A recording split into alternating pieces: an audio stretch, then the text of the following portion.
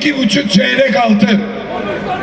Şimdi bu abam kasaba gel diyen abam kasaba giderken cebine bir çeyrek altın koysa yolda düşürse deli gibi arar değil mi her yerde nerede bu diye.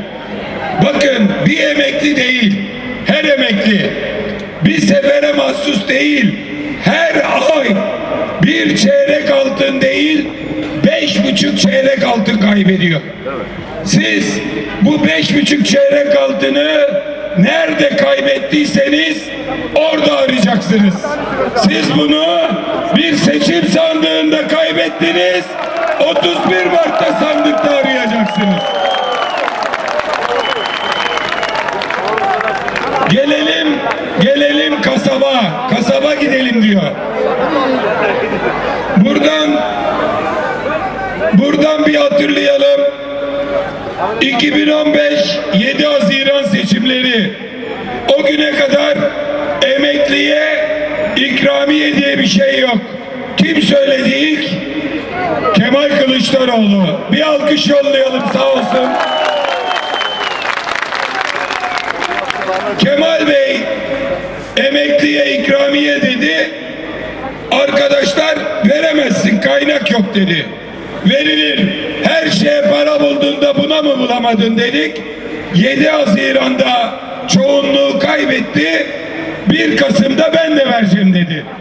Verdi mi? 3 sene vermedi. 6 ikramiyeniz hala onlarda. 6 kur 3 kurban 3 Ramazan bayramı 6 bayram vermedi. Ne zaman 2018 seçimleri geldi sözü aklına geldi bin lira verdi bin lira. Biz olmaz dedik. Bir maaş ver dedik. Bir maaş kadar ver bin lira yetmez dedik. Bizim o beğenmediğimiz bin lirayla ablam 2018'de 24 kilo dana kıyma alıyordu. 24 kilo. Şimdi 3 bin lira yaptılar. 2 Nisan'da yatacak. Parayı çekecek. Kasaba gidecek. Kaç kilo kıyma alıyor? 6 kilo. Ramazan mübarek gün. Allah Ramazanınızı, oruçlarınızı kabul etsin. Ramazanınızı mübarek etsin. Ama 30 Ramazan, 30 sahur, 30 iftar, arkadan bayram, bayram sofrasından, sahur sofrasından, iftar sofrasından, evladınızın, torununuzun kursağından tam 16 kilo kıyma eksildi sırf bayram ikramiyesiyle. Bakın bu emekliye yapılan haksızlık, bu emekliye yapılan zulüm başkasına yapılmıyor. Sırf ikramiyeden 18 kilo kıyma. Kim kime veriyor? Hadi git bir kilo kıyma iste bakalım birinden. Hakkın olan 18 kilo kıymayı mutfağından, dolabından, sofrandan çaldılar. Yazıklar olsun böyle düzene, yazıklar olsun. O yüzden, o yüzden hep birlikte mücadele edeceğiz. Bir de biz emeklilerin durumunu anlatırken o şehirden örnek veriyoruz Türkiye'ye. Geçen gün televizyon programında KRT televizyonunda canlı yayındaydım. Orada hemşeriniz var İnan Bey. Dedi ki Artvin'e gidince ne hesabı yapacaksınız? Dedim ne hesabı yapmam lazım? Dedi ki İnan Bey Artvin'e gidince hemen şurada bal hesabı yapacaksınız. Bal hesabına vuruyorsun beşken üç çıkıyor. Yani o zamanın parasıyla beş alıyorsan üçe iniyor. Rize'ye geliyorsunuz. Rize'de çay hesabı yapmaya tabi sizden 11 buçuk liraya alıyorlar ama geçen sene çayın kilosu 100 liraydı markette şimdi 190 lira. En düşük emekli maaşı geçen sene 75 kilo çay alıyordu. Bu sene 52 kilo çay alıyor. 75 nerede? 52 nerede? Hesap ortada. Emeklinin çilesi ortada. Siz böyle gelir meydanları doldurursanız Şimdi ne başladı? Önceden tek başına ben söylüyordum. Biz kalabalıklaştık, arttık. Siz geldiniz, ses yükselttiniz. Herkes emekliyi söylemeye başladı. Gazeteler emekliyi yazıyor. Televizyonlar emekliyi söylüyor. Siyasi partiler konuşuyor. En son biz çok uğraştım ben. Meral Hanım ittifak kurmamıştı. En son ittifakta buluştuk. Emekli ittifakında buluştuk. Herkes emekliyi konuşuyor. Hakkınızı alacağız hep beraber. Hakkınızı alacağız. Bana geçen gün diyorlar ki diyor ki hatta Tayyip Bey şöyle söylemiş gidiyor meydanlarda emekliyi kışkırtıyor diye Tayyip Bey bazen benimle kavga yapmak istiyor ben onunla kavga yapmak istemiyorum ben onunla emeklinin sorununu konuşmak kavga yapacaksam etnik siyaset kavgası, mezhep kavgası, din kavgası. Hepimiz din kardeşiyiz. Hepimizin inancımız var. Hepimiz birbirimize saygılıyız. Ama ben emeklinin ekmek kavgasını yapmak istiyorum. Ekmek kavgasını. Bunun için bunun için ben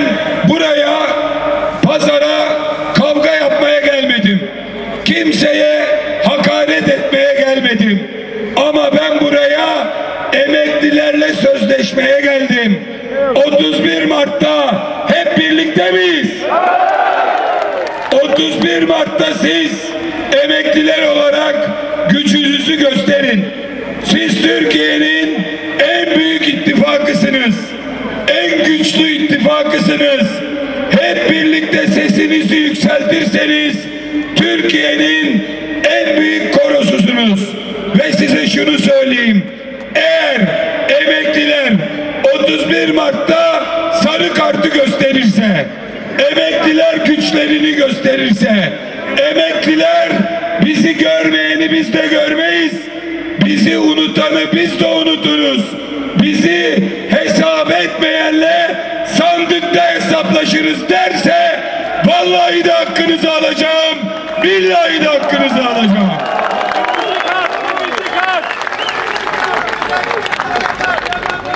Işık kırmızı gelelim işin ittifak tarafına.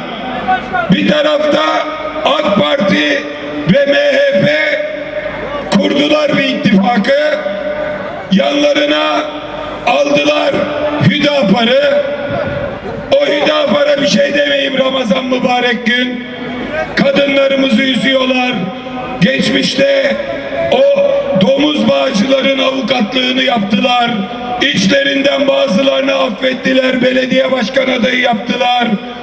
Yok efendim bekar kadınları sokak hayvanları gibi sahiplendirelim diyorlar. Ve AK Parti ile MHP'de bunlarla bir oluyorlar. Birisi ayrıldı, yeniden refah. Ona da demediğini bırakmıyorlar. İp cambazı diyorlar, zübük diyorlar.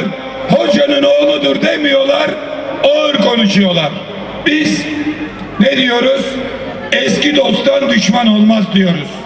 Biz iyi insanları severiz diyoruz.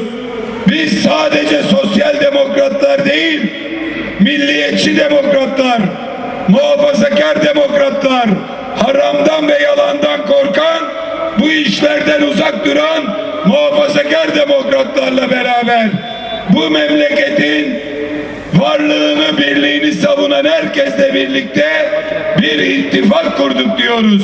Onların ittifakı adı Cumhur İttifakı. Bizim ittifakımızın adı Türkiye İttifakı, Türkiye İttifakı.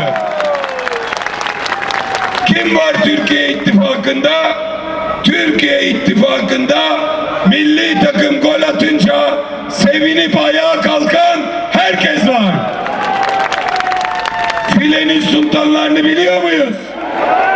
Onlar dünya şampiyonu olunca bayrağımız göndere çekilirken İstiklal Marşı okunurken filenin sultanları ağlaya İstiklal Marşı'nı okuyor ya, onlarla bir ağlayan herkes Türkiye ittifakındadır.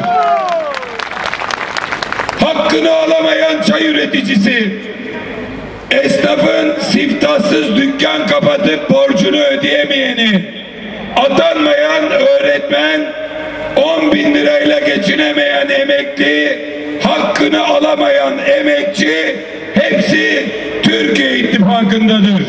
Türkiye ittifakı renklerini ay yıldızlı al bayraktan almaktadır. Türkiye ittifakının renkleri kırmızı,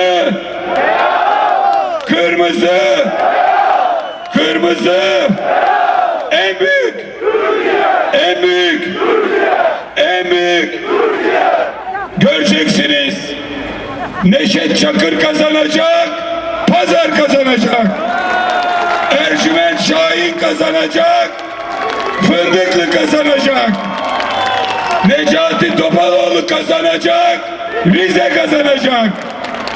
Türkiye ittifakı kazanacak, Türkiye kazanacak. Adaylarımızı size emanet ediyorum.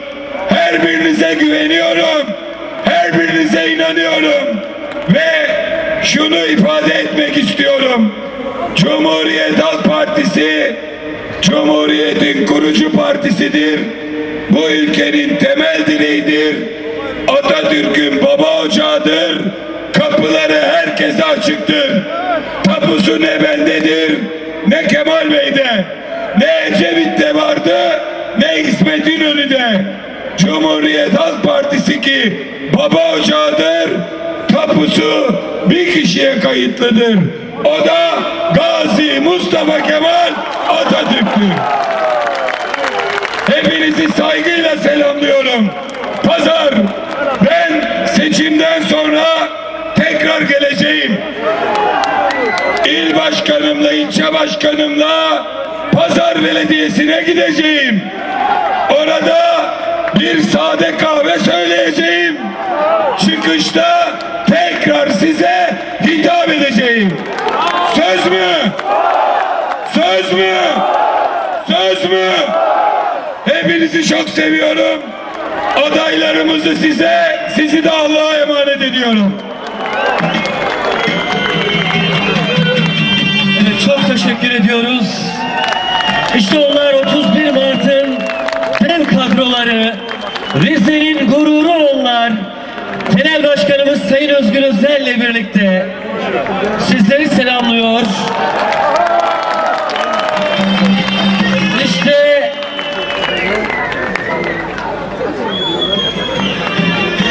Rize sporumuzun arkasını takdim ediyorlar Genel Başkanımıza. Evet hep birlikte hep birlikte coşkuyla sevgiyle sizleri selamlıyoruz.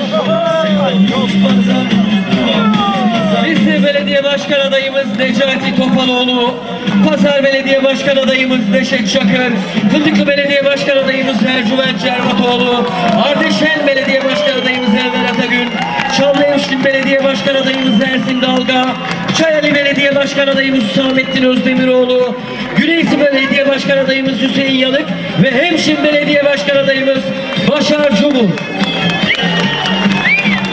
Çok teşekkür ediyoruz.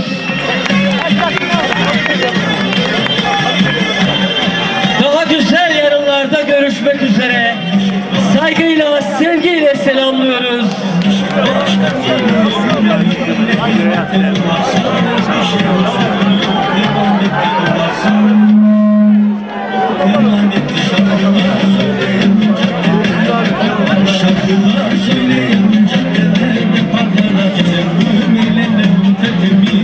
Saygıyla, sevgiyle selamlıyor Genel Başkanımız Özgür Özel sizleri. İlginizi, sevginize teşekkür ediyoruz. Daha güzel yarınlarda görüşmek üzere. Hoşça kal Pazar, hoşça kal Rize.